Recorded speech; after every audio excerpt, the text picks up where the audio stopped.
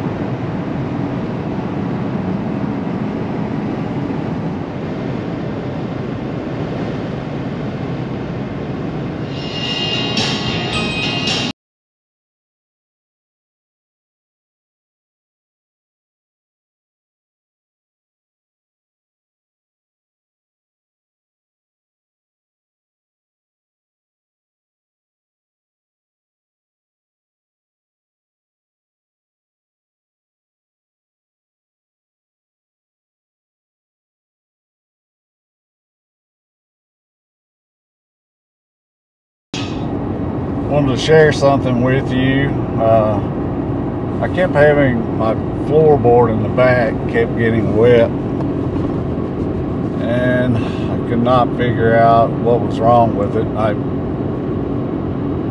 thought it was uh, from driven through some rain the last couple of trips, and I thought it might be coming up, water flowing up as I'm driving through the rain, coming up through some some of the bolt holes that I removed when I took the seats out back there. But I put all the bolts back in, so it really didn't make sense. But I pulled everything out in the back, the bed, and everything underneath the bed, and the carpet.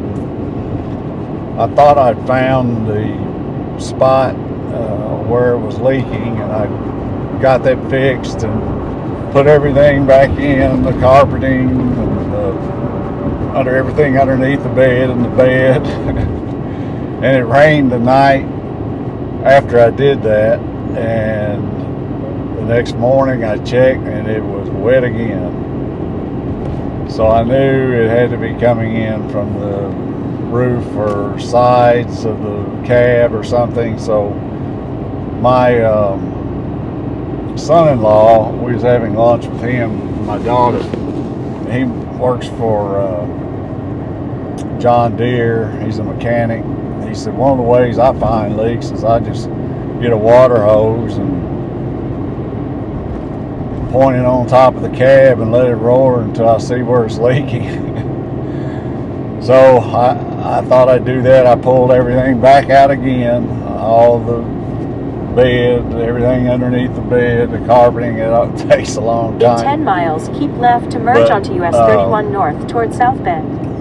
The uh, so I got it all out and I run the water hose, my water hose out. I got a shower nozzle on there and it, I put it on the roof and and man, water was pouring in on the side, back, the driver's side, on the back of the cab and come to find out the light assembly on the back top of this cab here was loose. And water was just coming in pouring down into the back flowing back toward the driver's side and coming out of the hose there. And, and uh, so I got I pulled the light assembly off and cleaned everything up and I actually put some caulking up there and then uh, tightened that light back down and tried it again and didn't have any problems. So I guess that's a tip. If you got a leak, get everything out of your vehicle and just turn the water hose on it and you'll find your leak. So the tip of the day. Well, we're on our way to pick up a camper. I will keep you all posted. The, the um, weather here in El, up in Elkhart was just a couple hours away. It's supposed to be raining, but it's, well, it's sprinkling a little bit now, but not bad. We're supposed to get thunderstorms this evening and tonight, so I'm hoping to make it home before those storms hit. So we will keep you posted. Talk to you later.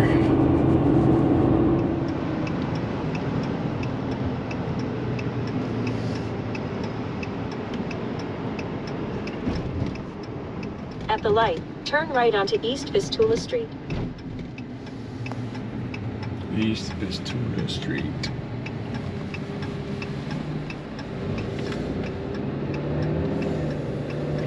In 4.7 miles, turn left onto County Road 35.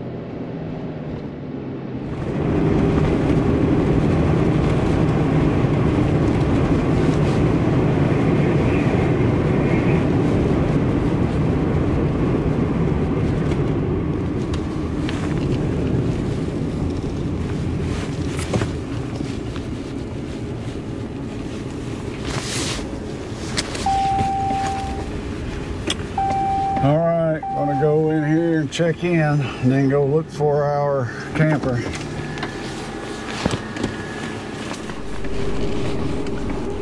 Okay, I'm in the back back section now and I bet that's That looks along more like the sizes of this thing.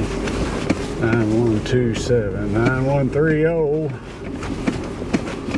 What do we need?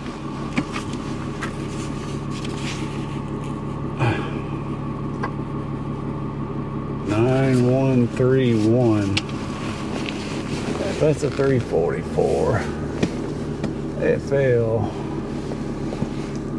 I'm going to come back and check the paperwork. Sometimes these guys write down the wrong numbers on these things.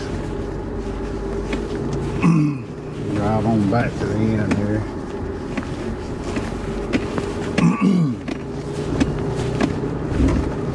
Couple more big one. There it is, 9131. Right there. It is a coach. Let's say coach Manila.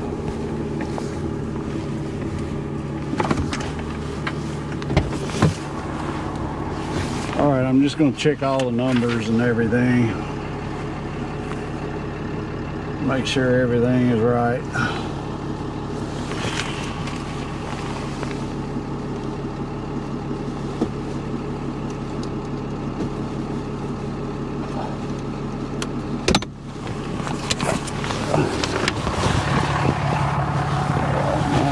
Three one.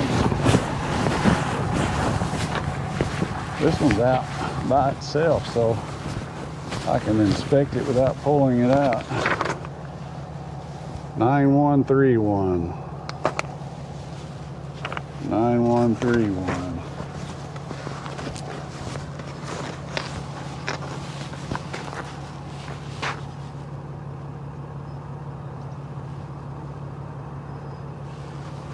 That might be some paint damage up there. I need to look at that.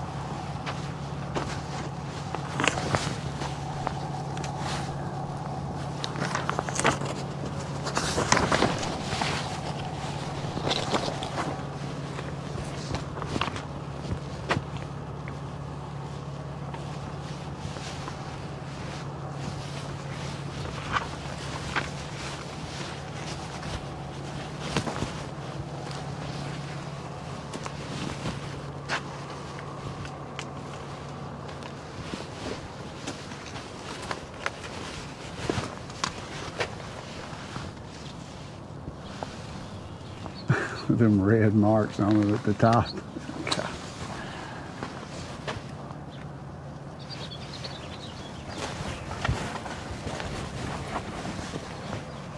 This is all good documenting this with a video, but I'm going to take pictures of what I see on this. Supposedly these uh,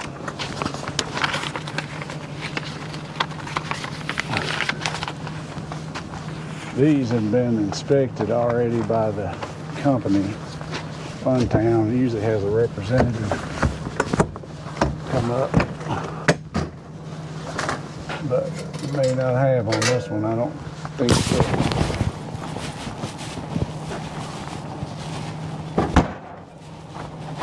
Yeah. Come back and lock these later and make sure everything's locked up.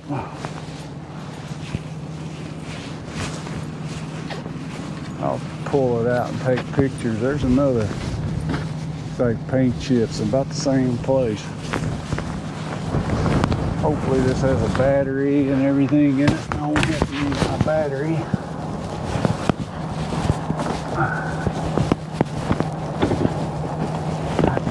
Maybe,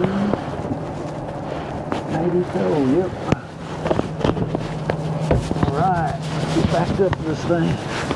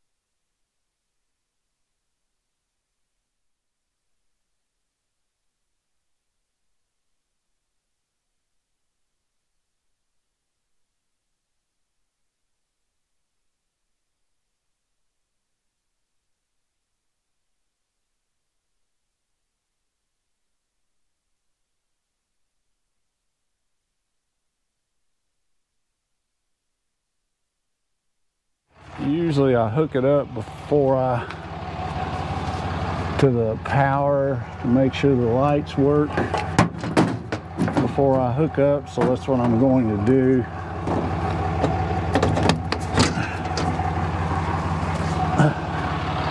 Turn on the lights.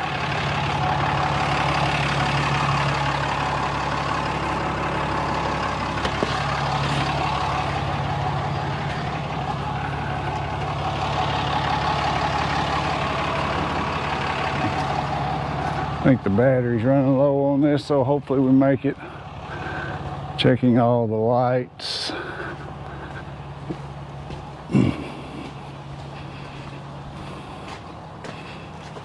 They work.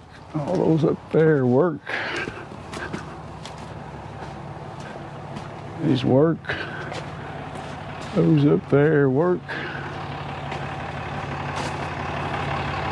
All right hit the flasher so we'll make sure that the blinkers work. See how much battery I got left? 28 percent.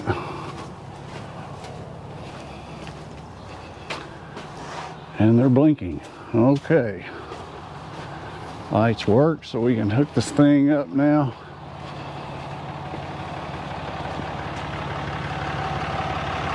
I'm gonna pull it out and take photos.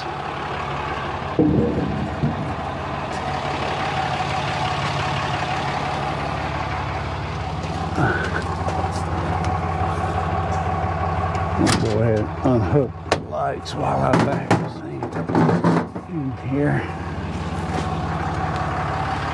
Got to put the plate on.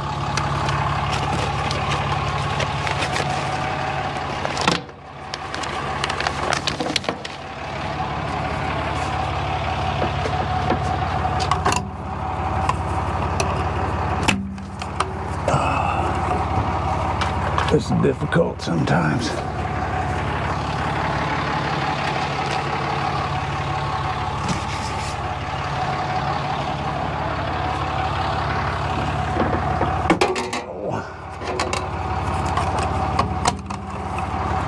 Oh man.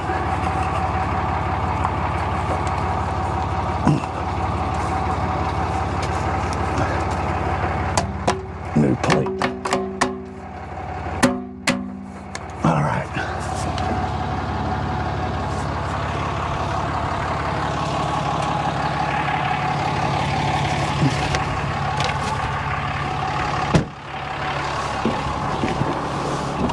Of course, all my doors are open. I think I'm gonna have to lift it just a hair.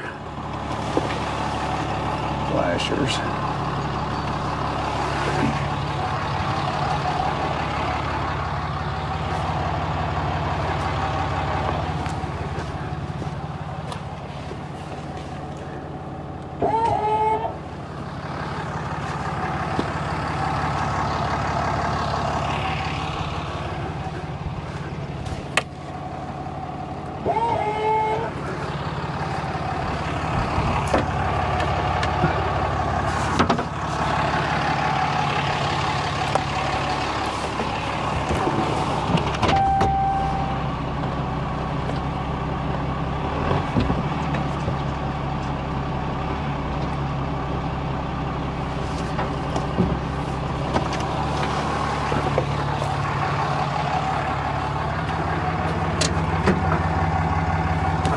All right. Okay,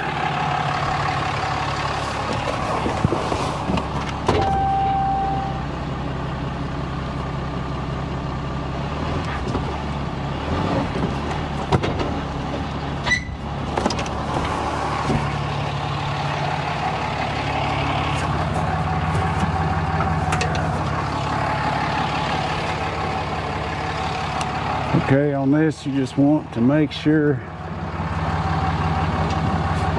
that these jaws close around the tongue there.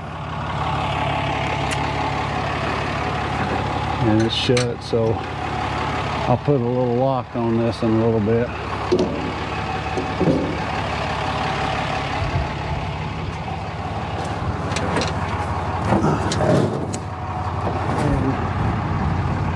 I uh, hear thunder.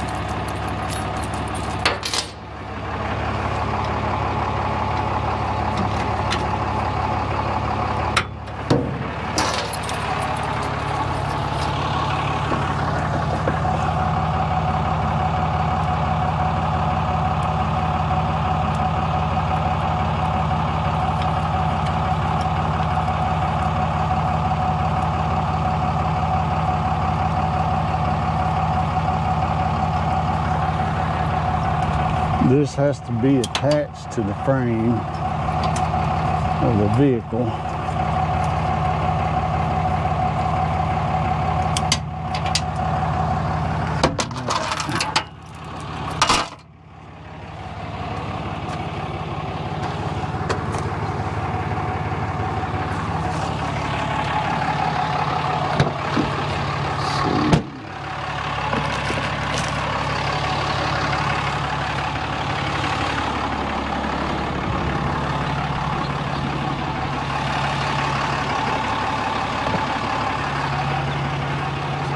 I like to put a piece of tape on the plug back here so it don't slide out.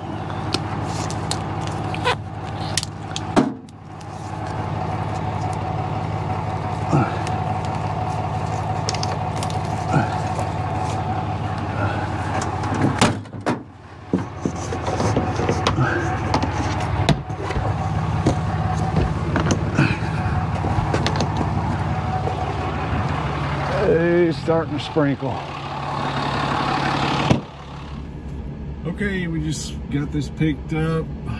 The security person's already checked us out. I've already got the paperwork done.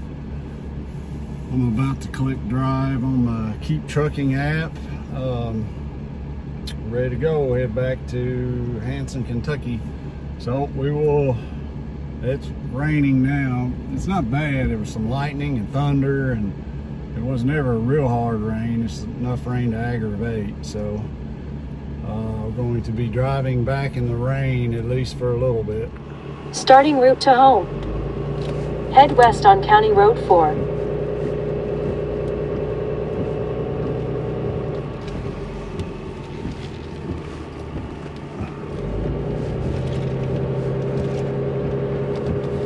Oh heck, the windows are down.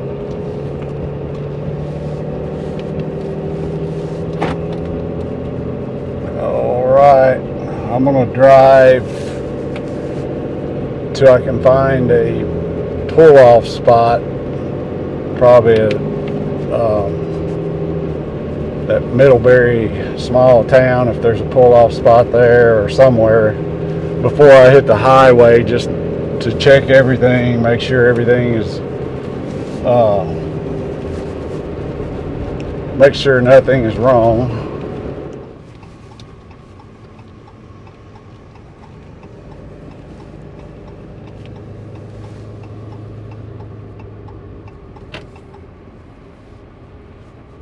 Turn right onto US 20.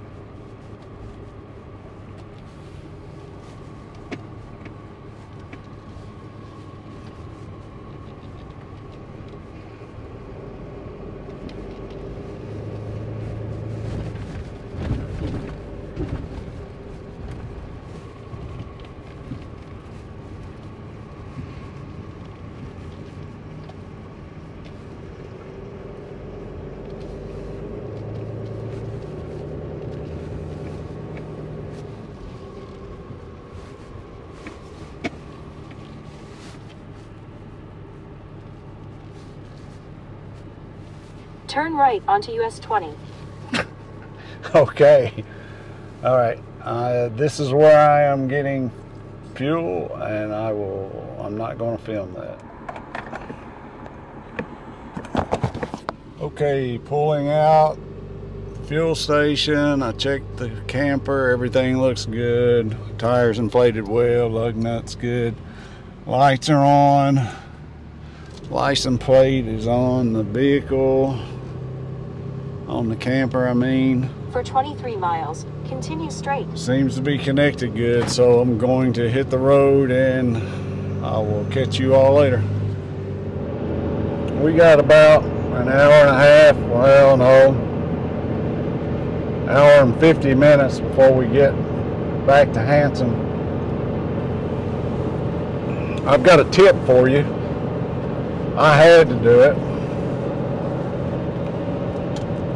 I don't know if you guys have ever done this or not. Leave your something at the dealership when you dropped off your camper. I've left my battery. I've left my uh, license plates. I've left my blue plate for the fifth wheel. Uh, what else?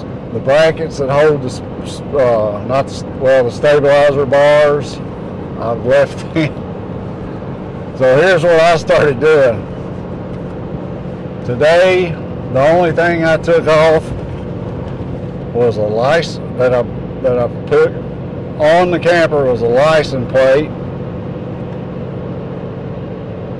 And I hang that here or somewhere where it's annoying, where it's in the way. And the fifth wheel lube plate.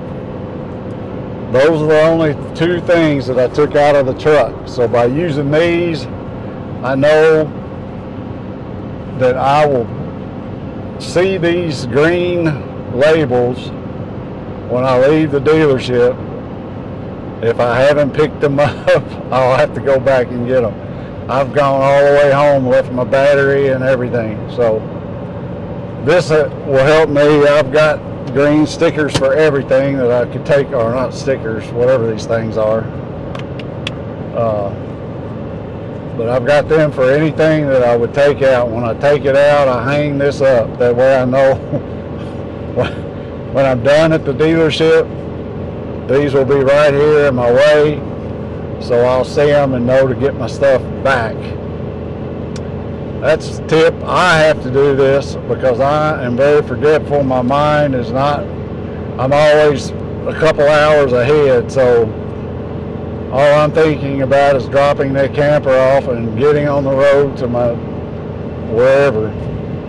So I hope this helps. All right, y'all have a good one.